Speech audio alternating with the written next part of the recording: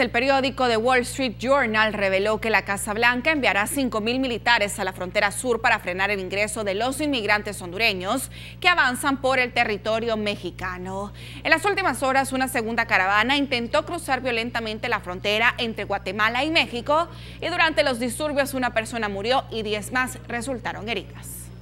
Sí, este puente fronterizo y aparentemente tranquilo se convirtió ayer en escenario de esos graves incidentes que acabaron con un joven hondureño de 26 años fallecido por una herida en la cabeza. En un principio se atribuyó su muerte a balas de goma lanzadas desde el lado mexicano, pero el ministro del Interior del país asegura que sus agentes iban desarmados y acusa a los inmigrantes de atacarlos con piedras y palos e incluso dice que algunos portaban armas y cócteles molotov. de México rechaza las manifestaciones de violencia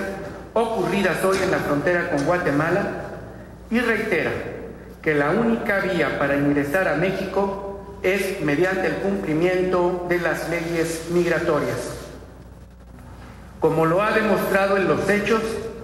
el gobierno de México ha respetado absolutamente el marco constitucional de los derechos humanos de los migrantes. La condición es sencilla, documentar su estancia en México y respetar nuestras leyes como toda persona que vive en nuestro país.